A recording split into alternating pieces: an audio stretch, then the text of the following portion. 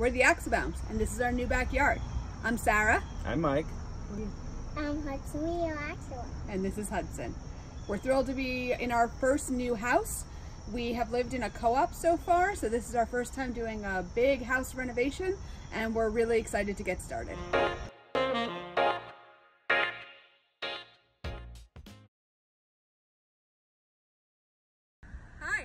I'm Sara, and that's Mike behind the camera. Hey. and we just bought this house. Come on, let me show you around.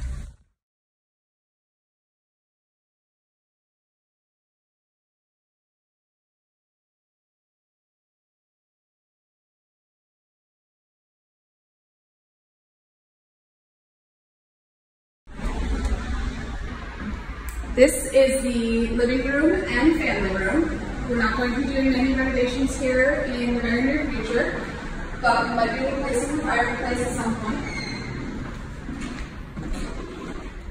This dining room will soon become part of the kitchen next door. Is this wall coming down? That wall is coming down, Cool.